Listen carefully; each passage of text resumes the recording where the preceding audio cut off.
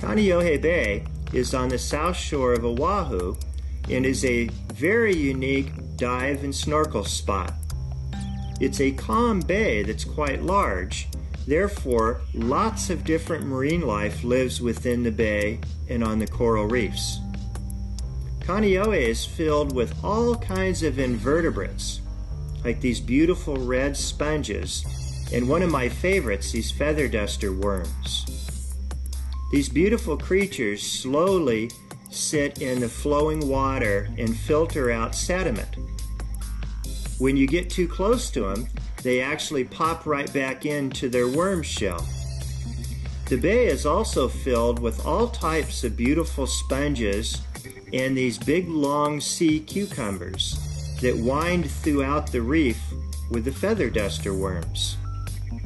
The feather duster worms come in a myriad of different colors. And one can see over a thousand of them on one scuba dive. We still don't know yet what causes these feather duster worms to pull into their shell when you get too close. The reef is also covered with many beautiful corals in Kaneohe Bay, although they've had a bad coral disease there and some of them have had a die-off over the last couple years. These beautiful rice corals look like grains of rice. Some of the rice corals in areas that have a lot of surf grow very close to the reef rocky structure.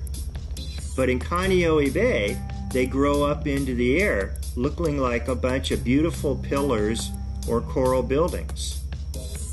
These red volcano sponges are all over the reef, and they house many different types of marine creatures like the coral reef does.